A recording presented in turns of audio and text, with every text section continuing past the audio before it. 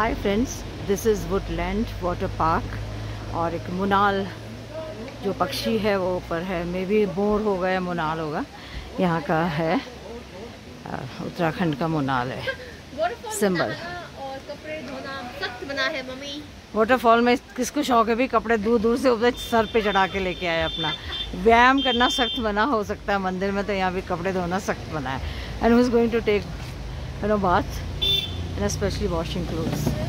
Okay भैया thank you